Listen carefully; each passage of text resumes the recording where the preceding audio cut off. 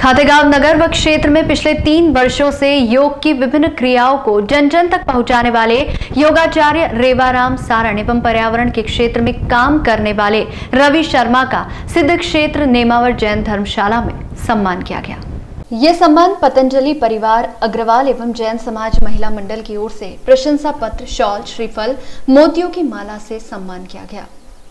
इस अवसर पर योगाचार्य रेवाराम सारण ने बताया कि योग से जीवन में ऊर्जा का संचार होता है।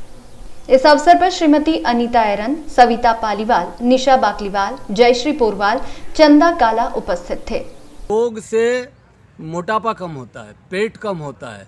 योग से कोई गठान तीन प्रकार की होती है। एक साधारण गठान होती है, एक टीबी की गठान होती है कैंसर की गठान होती है, ये ठीक होती है। योग चिकित्सा पद्धति भी है।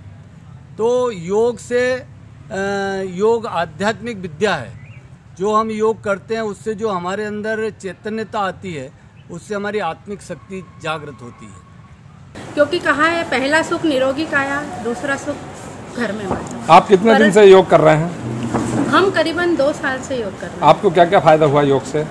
योग से शारीरिक दर्द वगैरह और सबसे बड़ी बात इंटरनल जो परेशानियाँ हैं उनमें बहुत फ़ायदा हुआ।